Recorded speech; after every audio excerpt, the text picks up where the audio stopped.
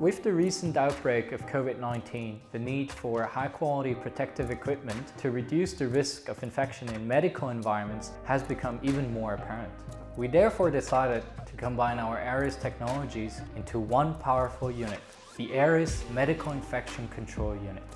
The machine's unique design allows it to create air pockets from which particles like bacteria and viruses are directly sucked into the filtration system. On top of that, we integrated an H14 HEPA filter, which is able to capture up to 99.995% of viruses as small as 0.003 microns. After being captured by the filter, the virus is then broken down by a special coating on the filter made of zinc mineral.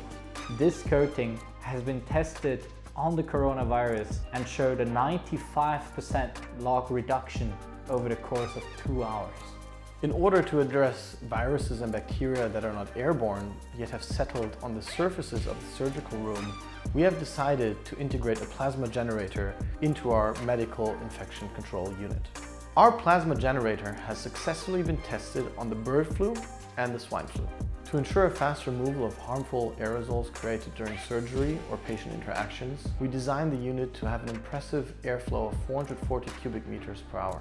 This airflow rate means that our machine cycles the air of a standard sized surgical room about 9 times per hour, while the standard requires 6.